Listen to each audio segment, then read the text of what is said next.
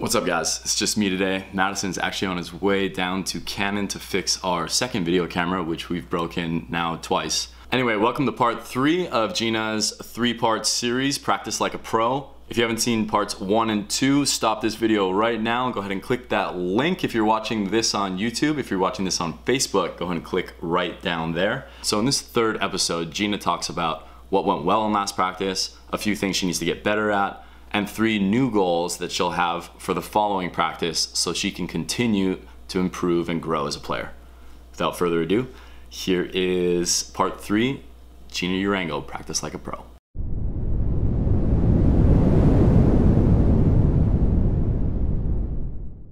Practice started out um, really well. Uh, we were getting lots of touches in, it was very cardio focused. Um, really warmed up quickly. Um, but then by the end of practice, the fatigue started to show for me. Um, my legs started to feel it. And I was saying it's it's very game-like situation because in a tournament, you know, on your fourth match, if you're in the contenders on Saturday, your legs obviously aren't going to feel fresh. And so ultimately, I think that I let that get the best of me. And that's where it just goes to show, like, even if I'm like a main draw AVP player, like I still have days like this that's frustrating, but it's like one of those things that you just have to try and work through. Mm -hmm. One thing that went well was I thought that my setting was really good. I had um, good face with my hips, had long touches, and I was lifting uh, Kelly some good sets in the match play. That was a positive. And one negative, um, I forgot to breathe.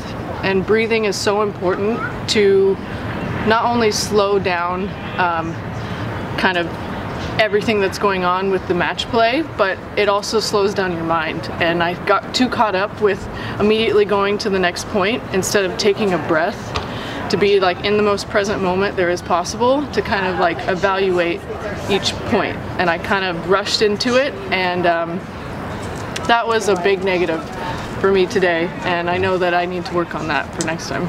I thought the the focal point of scoring up on my set was good, like I said.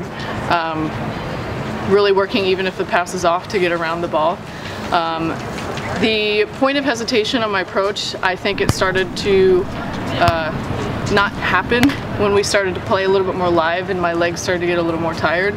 Um, instead of uh, focusing on that and coming in with a hard approach, I felt very vanilla and you know like I said my whole taking a moment to breathe and think about that didn't happen so I wasn't necessarily able to fix that in the moment but looking back now I know that I can try and adjust that next time at practice.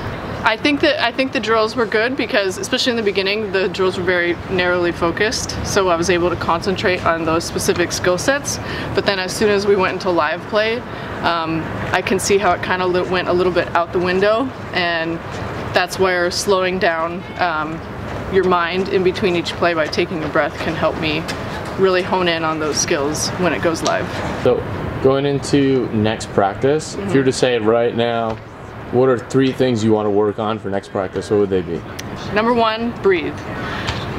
Just taking a moment to take a breath. That's definitely focus number one. Um, focus number two is if to, to work on a higher contact point with my hand. I think because if my legs are feeling tired and I'm not jumping as well, I still need to work on getting a high reach and finishing my hand on the ball. Um, and then three is always just being mindful, continuing to ask myself questions, uh, what, were, what went well and what didn't go well, and what can I do better. Alrighty, that concludes our third and final episode of the Geena Urango Practice Like a Pro series. And guys, Thank you again. We can't tell you thank you enough for watching all of our videos. We make beach volleyball videos coming out with a new one every Wednesday at noon Pacific Standard Time. So if you guys aren't already subscribed, go ahead and click that little white button right there or that red subscribe button right below. Thank you again and until next time, later guys.